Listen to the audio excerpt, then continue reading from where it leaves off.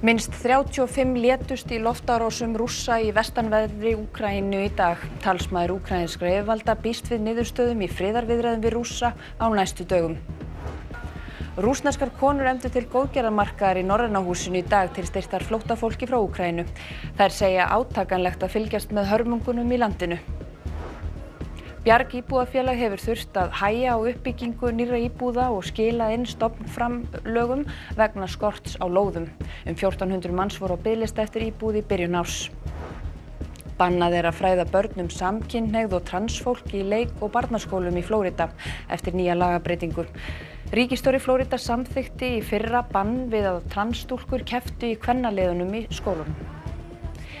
Lægið með hækkandi sól í flutningi systranna Siggu, Betu og Elinar verður framlag Íslands í Eurovision í ár. Sjálfar heldu þær að Reykjavíkudætur myndu vinna.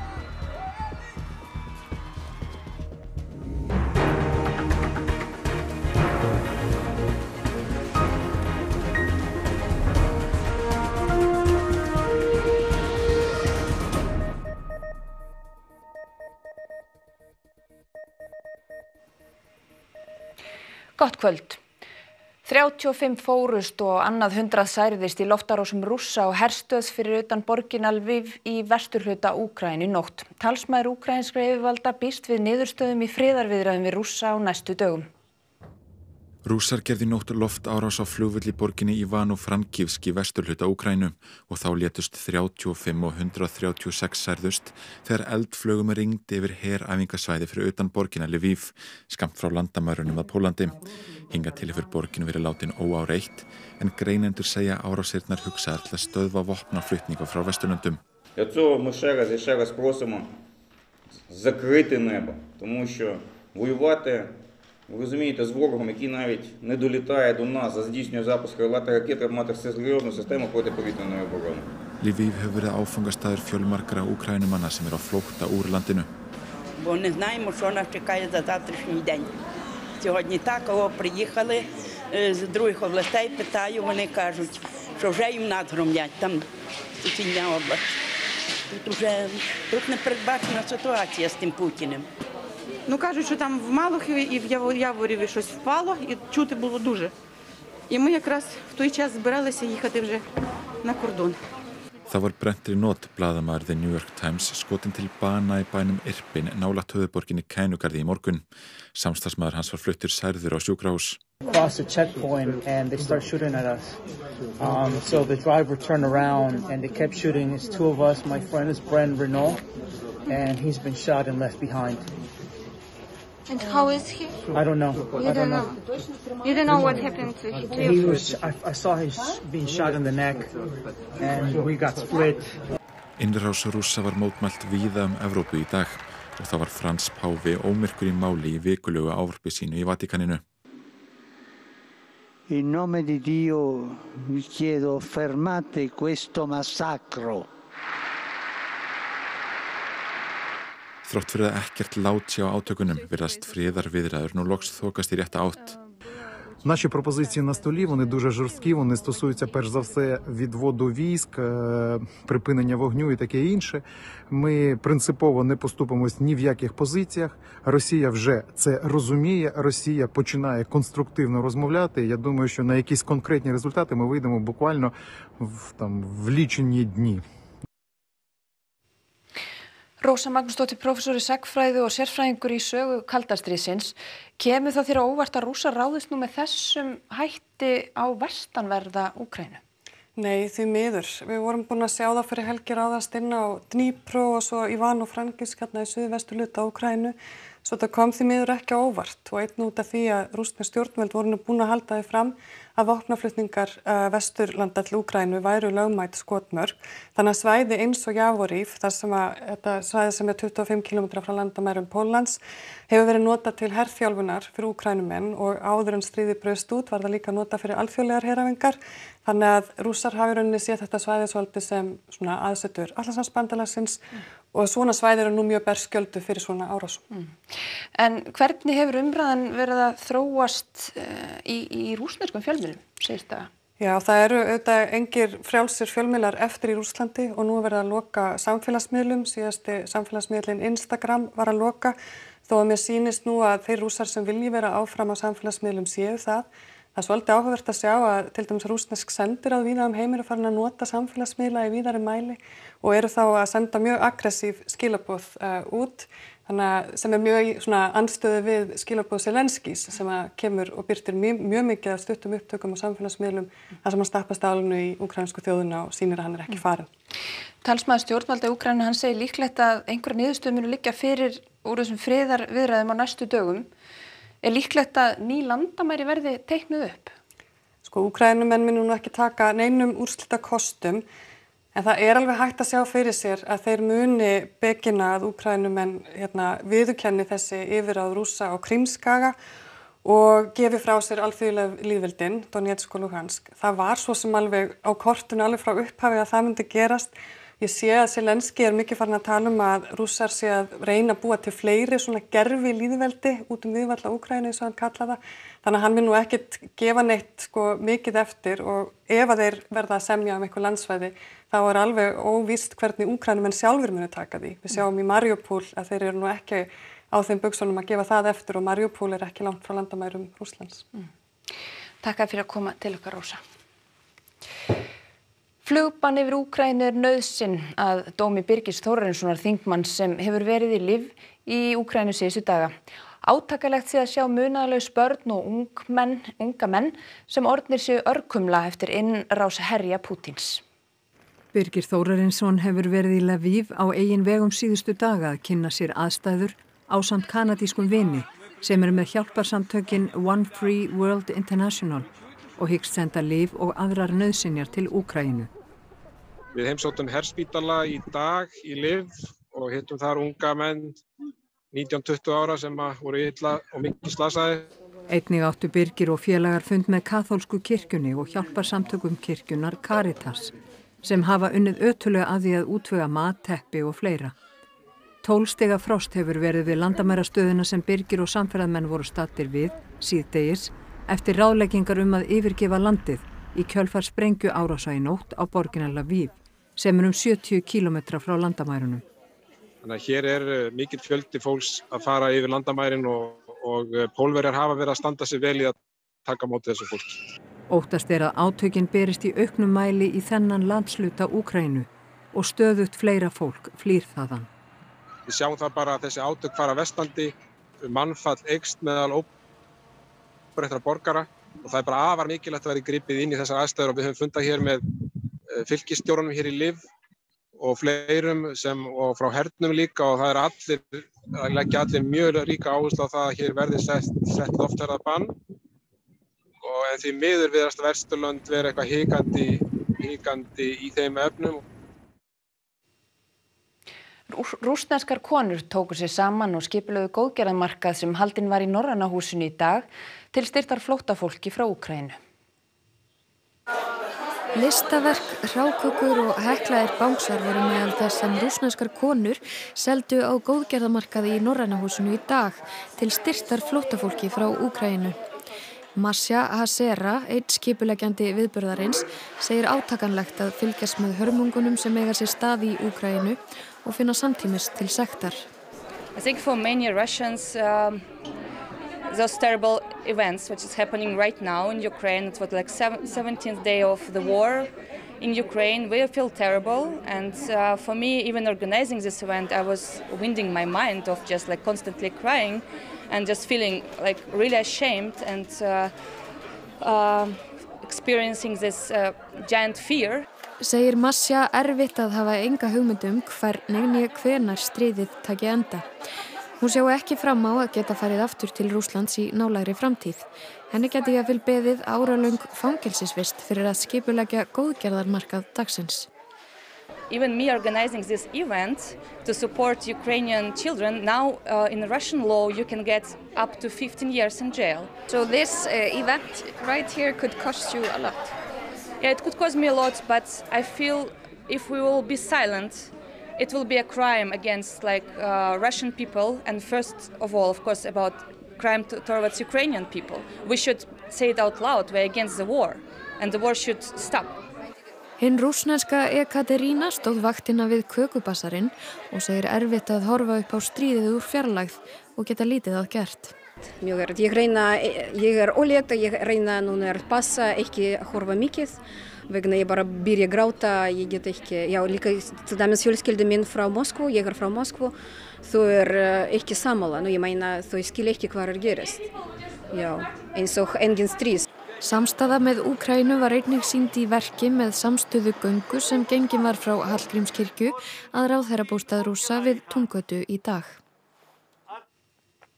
Bjarg íbúðafélag hefur þurft að skila inn stopnframlögum vegna þess að lóðir sem tilstóð að byggja á eru ekki tilbúnar. Formað Vaffer segir lóðarskort standa í vegi fyrir uppbyggingu nýra íbúða og kallar eftir aðgerðum í húsnæðismálum. Bjarg íbúðafélag er óhagnaðadreifið leigufélag að danskri fyrirmynd og hefur afhend næri 700 íbúðir frá árinu 2019. Íbúðirnar eru fyrir fólk sem er virt á vinnumarkaði á aðilda ASI eða BSRB og er undir ákveðnum tekjumörkum. Í byrjun árs vorum 1400 á bygglist eftir íbúð en nú hægir á uppbyggingu vegna skorts á lóðum. Bjarg íbúðafélagi sem við erum að byggja fyrir tekjulasta fólkið, við erum að skila inn fjármagnið að stoppfjárframlögum vegna þess að við fáum ekki lóðir eða lóðirna sem við höfum fengið þar eru bara ekki tilbúnar og verður ekki tilbúnar fyrir nettir nokkur ár. Ragnar er langþreyttur á að ekkert sé gert til að leysa húsnæðisvandan. Þeim hjá Bjargi hafi tekist að byggja 700 almennar íbúðir sem allar hafi staðist kostnar og tíma áallun. Þá reynslu á að nýta hjá blæ íbúðafélagi sem ekki fær stoppframlög heldur verða íbúðirnar fjármagnar með öðrum hætti. Félagið er láhagnaðadrifið en ekki óhagnaðadrifið eins og Bjarg. Þannig verður hægt að leysa húsnæðisvanda þeirra sem fara yfir tekjumörk Bjargs. Ragnar segir þörfina mikla. Við erum klár með hugmyndafræðina og, og, og nýtt félag til þess að byrja að byggja og, og framkama en okkur vantar lóðir og okkur vantar meiri skilning frá lífyrirsjóðum til þess að koma inn sem langtíma fagfjörstar og þetta er eitt af því sem gæti gert gæfi munin bara fyrir lífskeiði almennings næstu árin. Og þetta er náttúrulega bara skelvileg staða að vera með allt tilbúið en, en geta ekkert gert vegna þess að, að það bara vantar lóðir. Hann segir að með blæsi verið að búa til rekstrarform sem stuðli að búsetu öryggi og uppfylli ávöxtunarkröfur langtíma fjárfesta. Í Danmörku séu 10% heildaregna lífeyrissjóðana í slíkri uppbyggingu á meðan hún sé engin hér. Á því vil Ragnar sjá breytingu því þetta sé góð langtíma fjárfesting sem ekki byggir á sveiplum á húsnæðismarkaði heldur gerir samfélagslegt gagn. Fyrsta byggingaverkefni Blæs hefur verið fjármagnað að fullu og lóðir tilbúin í Úlfars Árdal fyrir fjölbýlishús þar sem verða á bylnu 36 til 40 íbúðir. Já, Elín, það er enn eitt ofsa veðrið í aðsí og viðvaranir í Já, kortunum. Jú, jú, það eru sem sagt appelsínugular viðvaranir á vestanverðu landinu. Það er fyrstu taka gildi klukkan 10 fyrir málið og við erum að spá þessari svona sunnan og suðaustanátt 20 til 28 metrum á sekundu og við sjáum hérna hreyfumyndinni hvernig þetta færist síðan til austurs. Það verður líklega verst á norðvestanverðu landinu en viðvaranir ganga ekki gildi svona að það er allra síðustu fyrir en svona um og upp á miðinætti annarkvöld. Mm. En fylgja þessu, það fylgja þessu hlýjandi og maður gera ráð fyrir miklum leysingum? Já, það verður mikil rigning á, á vestanverðu landinu og síðan sunnan og, og suðaustanverðu landinu líka. Uh, og síðan sagt, er svona hnjúka þeir sem að uh, fylgir þessu á norðanverðu landinu mm.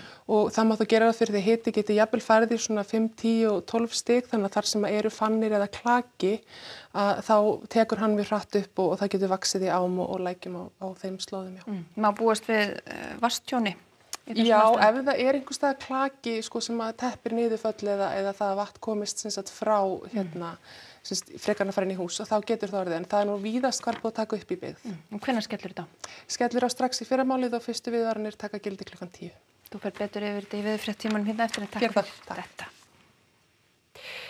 Hins einn fræðsla og umræða um að vera transmanneskja hefur nú verið bönnuð í barnaskólum í Flórida. Anstæðingar lagabreitingarinnar segja hana hatursfulla og gera fólki viðkvæmri stöðu enn erfiðara fyrir. Samkvæmt nýsamþyktu frumvarpinu er nú bannað að ræða og fjalla um samkynneigð og transfólk í kennslu barna í leikskólum og allt upp í tíu ára aldur í grunnskólum. Stuðningsfólk breytingana segir að umræðunum þessi mál eigi að fara fram á heimilum ekki í skólum. Banninu hefur víða verið mótmælt. Andstæðingar lagabreitingarinnar kalla frumvarpið Don't say gay eða ekki tala um samkynnið. Meðal þeirra sem benda á mikilvægi fræðslu er transfólk sem sum segja að skólaganga sín hefði verið um margt betri ef almennileg fræðsla hefði verið til staðar. I was harassed and discriminated against by like both students and teachers and administrators alike. Jan Bisaki, talskona kvítahúsin, segir í nýju lög hatursfull og beinast gegn viðkvæðum hópum. Þrátt fyrir þau skilabú heldur ríkistöru Flórida sínu striki. You're injecting these concepts about choosing your gender, that is just inappropriate for, for our schools and so I don't support that going on. DeSantis eru málefni transfólks greinlega hugleikin. Í fyrra samþykti ríkistjórun aðra lagabreitingu sem bannar transstúlkum að keppa í kvennaliðum í öllum íþóttagreinum í skólum ríkisins. And um, I can tell you this, in Florida, you know, girls are going to play girls sports and boys are going to play boys sports. That's what we're doing, and we're going to make sure that that's the reality. Aukin eftirspurnir eftir kjötmjöli til ábyrðar í takt við síhækkandi ábyrðuverð. Verksmiða sem framleiðir kjötmjölið tekur við meiri sláturafurðum í ára nokkur sinni. Hún er kærið áfram á dýrafitum sem tilverður í framleiðstunni og restin af fitunni er nýtt í lífdísil framleiðslu. Orkugjörðin í Flóa hefur verið rekin í yfir 20 ár. Hér hefur verið tekið á móti auka afverðum dýra frá sláturhúsum á Suðurlandi í fjölda ára, nú um 4.000 tónnum. Nú hefur urðun sláturúrgangs verið bönnuð á höfuborgarsvæðinu og því mun magnið trúlega aukast um 6-8.000 tonn ef öll leifi fást. Afurðirnar eru hitaðar upp í 135 gráður undir þrýstingi til að drepa allar bakteríur og síkla. Og síðan er það pressað og aðgreint þannig að við fáum mjöl sem er ábyrðamjöl og dýrafittu sem við annars vegar notum sjálfur á olíukettlun okkar og flyttum ágangin út. Um 2 megavött verða til við brennslu dýrafittunar sem keirir verksmiðjuna að stærstum hluta. Til viðbótar eru notuð um 400 kílovött af ramagni. Helmingurinn af fitunni sem tilfellur fer í að keira verksmiðjuna sjálfa en afgangurinn er seldur til Hollands í framleiðslu á lífdísil. Sjálfbær og umhverfisvær. Þegar við erum að taka og vinna orku og áburð úr hráefni sem áður fór í jörðina. Það er einhver logi þegar sagt er að þessari framleiðslu fylgi ansi mikil lykt. En til að koma í veg fyrir hana er komið í húsið óson framleiðslutæki til þegar ósonið kvarfast við lífrænu efnin sem valda lyktinni hverfur hún að mestu. Áburðaverð hefur snar hækkað og þá endar með því að þetta verður hákvamari kostur. Það er dýrar að dreifa þessu og meira vesinn en verðið er lagra. Í upphafi mátti nýta kjötmjölið í fóður en eftir að Krautsvelds Jakob sjúkdómurinn kom upp í, í Breitlandi skömmu síðar hefur aðeins mátt nýta mjölið til áburðar og reglurnar eru nokkuð strángar þótt sjúkdómurinn hafi aldrei komið upp hér á landi og allir vefir sem kynnu að geima hann séu aðskildir frá. Ákveðin tími verður að líða frá því að áburðurinn er borin á og þar til beitam á skeppnum á landi. Mér heyrist að Evrópusambandi hafi slaka tölvist á því. Það eru 24 dagar sem þarf að býða þar frá því að mjöl er dreift og hóndum á beita. En þetta eru svona um, fjóri mánuður hérna. Um 50 kvennfrumkvöðlar komu saman í háskólanum á Akureyri þar sem þær fengu leiðsögn í hvernig er hægt að láta viðskiptahugmyndir verða veruleika. Konur í nýsköpun eiga enn erfiðara en karlar með að fjármagna verkefni sín. Þið eru frábærar allar, mér fannst þetta bara rosalega flott og það vantar svo lítið hjá okkur til þessi orðn og fullkonar í þessu. Lotan sem fer fram á Akureyri er hluti af nýsköpunarhraðli sem stendur yfir í februar og mars. Þetta er í annað skipti sem Háskóli Íslands heldur utanum verkefnið.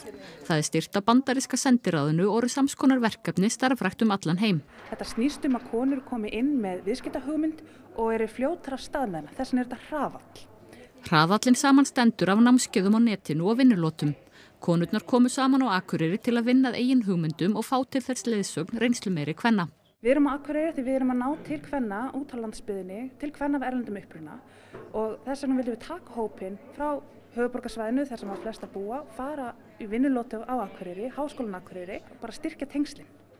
Alls eru 37 viðskiptahugmyndir sem voru valdar til þáttöku og eru hugmyndirnar afar fjölbreyttar. En hugmyndin okkar er sem sagt í rauninni að gera byggingu nýra hátæknagróðurhúsa að raun hafi möguleika með því að vinna greiningavinnuna og búa til viðskiptamódel sem að svarar öllum þessum spurningum sem þarf að svara. Verkefni mitt heitir Nakama Gender Balance þess að við erum að þróa gerfigrein til þess að skoða samskiptumynstur kynjana á vinnustofafundum og vinna vitundavakningu hvernig staðan er á vinnustofafundum. Þetta er bæði tengslanet, þetta er mjög mikil stöðningur, mjög mikilvægt að fá endurgjöf frá sérfræðingum. Eins og staðan er í dag þá er náttúrulega konur í miklu minni hluta í frumkvöla og fá miklu minna fjármagn inn í sína hugmyndir. Að leggja áherslu þetta skiptir mjög miklu máli. Guðni T.H. Jóhannesson, fórsett Íslands, heimsótti Kólaporti í Reykjavík í dag þar sem hann heilsaði upp á gesti og gangandi. Heimsóknin byrjaði með messu þar sem Guðni flutti ávarp og því næst fór hann í skoðanaferð í fyllt framkvæmdastóra Kólaportsins. Í lok heimsóknar fekk fórsetin þar hlutverk að draga fyrsta orðið í sérstökum bingoleik þar sem markmið er að auka orðaforða þáttakenda.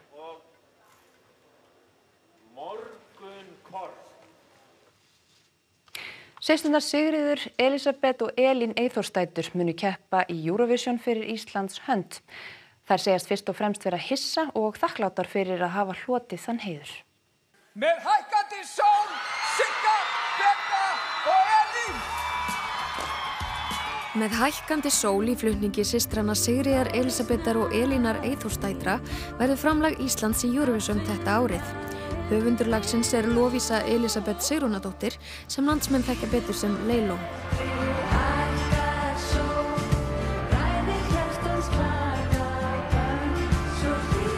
Fimm lög keftu á úrslitakvöldi söngvakefnunar í gær. Tvö þeirra komust í úrslita einvið en Reykjavíkur dætur voru í öðru sæti keppnunar með lægið Turn This Around. Eurovision verður svo haldið í Torino á Ítalju meðjan mæ, svo nú taka við nokkra vikur af stífum undirbúningi fyrir stóru stundina. Sistunar segjast enn vera að meðtaka gerkvöldið og það sem framöndan er. Hissa, mjög surrealist. Þakkláttar og bara, já, þetta er, þetta er ótrúlega tilfinning. Þetta er alveg nýtt. Já, nýtt, þetta er mjög nýtt, algjörlega. Þið segið surrealist, voru þið einhvern veginn ekki búin að sjá þetta fyrir? Nei. Nei. Já, við, við vorum bara alveg vissar um einhvern veginn að Reykjavík dætu var að fara að vinna. Við vonuðumst alveg til að vinna, það er ekki það að við séum ekki ánægða með að vinna. Það var bara einhvern veginn svo, já, það kom okkur bara svo ótrúlega á óvart. Mm. Veist, það er geggjað og við erum svo þakkláta fyrir það. Veist, bara að þjóðinn tristi okkur til að fara út. Já. Takk fyrir ykkur. Takk fyrir ykkur. Og þá ætlar Þorkild Gunnar Sigurbjörnsson að segja okkur hvað verður í íþróttafréttum kvöldsins. Skíðamaðurinn Hilmar Snær Örvarsson náði morgun besta árangri Íslandings á vetararolimpíu móti fallara. Hilmar endaði í fymta sæti í svíi. Óskar Bjarni Óskarsson afreikaði það að verða byggarmeistari tvísvar sama daginn í gær sem aðstofaþjálfari Vals. Sinir hans voru svo í líkil hlutverki hjá karlaliði Valsmanna. Við sjáum það helsta úr enska boltanum í dag og fjölmart fleira í íþróttum hér eftir fréttir. Áður hverjum ykkur er rétt að renna yfir það sem var helst í þessum fréttatíma. Minnst 35 létust í loftárásum rússa í vestanverðri Úkrænu í dag. Talsmaður Úkrænins greiðvalda býst við niðurstöðum í friðarviðræðum við rússa á næstu dögum. Rúsnarskar konur emdu til góðgerðamarkaðar í Norræna húsinu í dag til styrtar flóttafólki frá Úkrænu. Það segja átakanlegt að fylgjast með hörmungunum í landinu. Bjarg íbúðafélag hefur þurft að hæja á uppbyggingu nýra íbúða og skila en stoppframlögum vegna skorts á lóðum. Um 1400 manns voru á bygglista eftir íbúði í byrjunum árs.